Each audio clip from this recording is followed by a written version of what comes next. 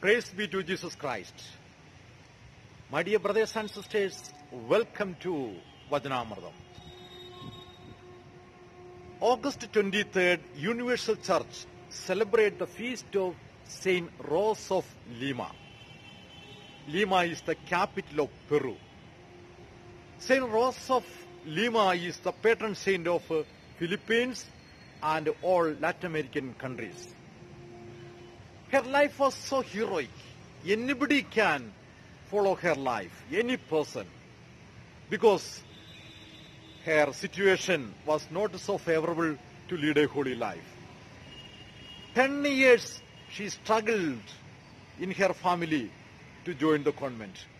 Family people did not give her permission to join the convent. But what he did, as a child, you must understand, her original name was Isabella. But when she received, at the age of 11, the sacrament of confirmation, she received the name Rose.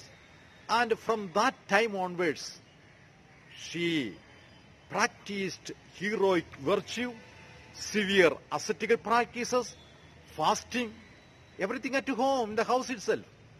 She was from a very poor family. And behind the house, there was a garden. She made a small hut there and spent in that hut long time in prayer.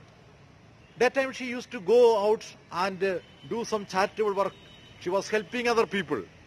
And uh, after finishing those work, she used to come back. And uh, she was requesting her family people to give permission to join the convent. No, they did not give. And uh, only consolation was her confessor. Her confessor gave her permission to receive Holy Communion every day. That was a great blessing for her. We must understand those days, even if after making confession, people were not allowed to receive Holy Communion. For that, they have to get a special permission from the confessor. And uh, she was given permission by confessor and that was really a great blessing. That was the only consolation for her. But uh, she practiced all this uh, uh, ascetical uh, asceticism and fasting and uh, a long time in prayer.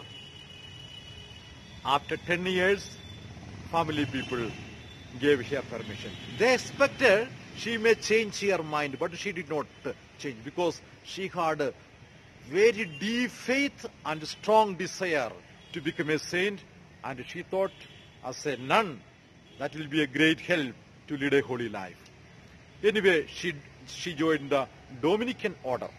There she doubled her ascetical pra- practices and fasting everything.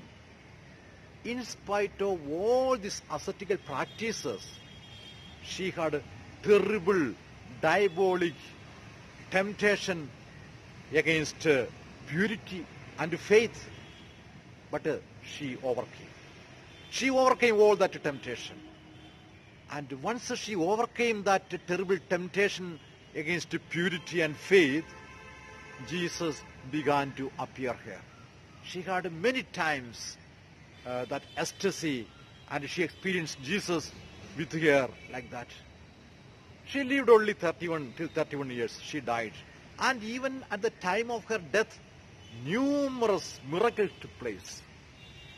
So, my dear brothers and sisters, though there were so many unfavorable situations, she could overcome all burdens, all difficulties, hurdles because of her deep faith and strong desire to become a holy.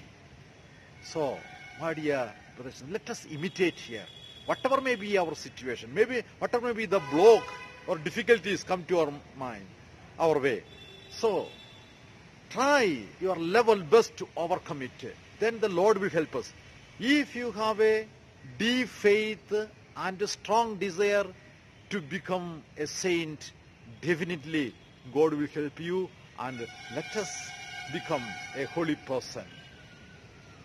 Let us pray each other. May Almighty God bless you, the Father and the Son and the Holy Spirit. Amen.